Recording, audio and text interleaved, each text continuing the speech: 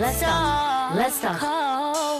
Now we're talking about friendships. Do you think women need friendships with other friend with other women? Because you said you don't have a lot of friends. We offered our friendship, so uh, tell me how, you, how are you feeling about that? Do you feel like we're we're caught like we are just being funny? my You're not real.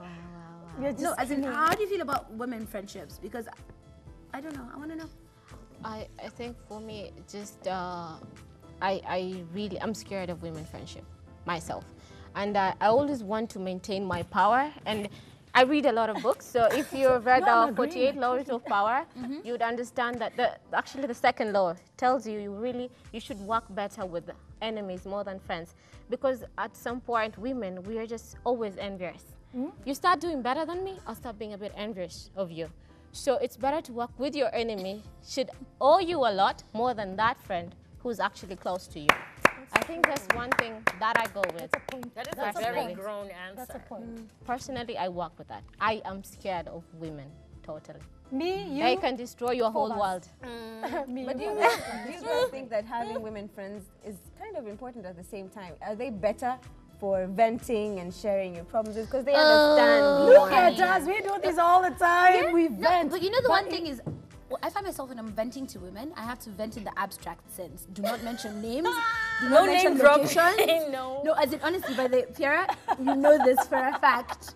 Brenda, you know this for a fact. You, you were t- you was what by your friend. Yes, And so suddenly, everyone in the press knew you were I told you my pregnant 'cause one circle person. was like this much. yeah. Yeah, so, I think it's just trusting people generally, whether it's men or women. I believe no, but in men I think have less.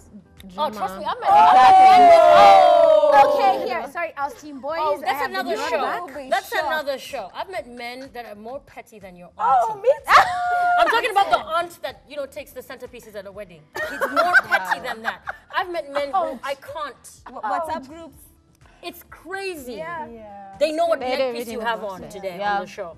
So generally with people, just be mm. cautious, as she said. Mm. You really, and the more you elevate yourself in life, in your career, in your relationship, you just have to downsize, Probably, downsize, downsize. I know that is so true. I totally agree with you. Probably you should tell us what do you think is qualities of a good friend?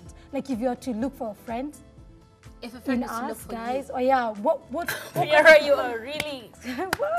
what kind- you know what? See, we are friends. Us guys have Yeah. been friends for, from when she was That's trying to good. be a DJ. You know things like oh, that. Nice. We just met today, but we're friends uh, just because we're both. You've been five foot hugging. two. We're on hug We're both level like now. this. Yeah. This long. You're We're- going to buy, yeah? Maybe it's like an inch away from name dropping. Today I met someone, Mbuvi. She's my best friend. These are the kind of girls who put you on Snapchat. You Yeah, Snapchat. best friend thing. Yeah? I will post her on Snapchat, but I will not post her business pro- out there. But probably I should ask you, I should ask you what qualities did you see in me that you thought I should be your friend? Oh my goodness. Anyway, Did you just tap I'm her? just No, yeah, like, you have a very good question, Pierra. Uh, We keep just. qualities- yeah, that's- that's. What good qualities do you look for For in a friend, yeah? Uh, someone who's mature, at least something I can learn for from the person, yeah? If it's you, if you're very mature, you inspire me in a lot of things. Maybe I have ideas and you have other ideas. We can just bind them together and do something together.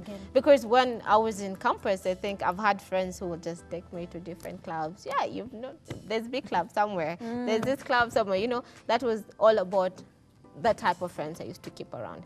But with the, the experience you gain, you have to actually evolve from it. You have to grow and just change the type of people you put around. And that's how I live my life nowadays. I have to keep it to myself. Nobody knows what happens now mm. afterwards. It's always about you and Yeah. but the type of friends I think mature people who inspire you and all that. Yeah, that's all I can say.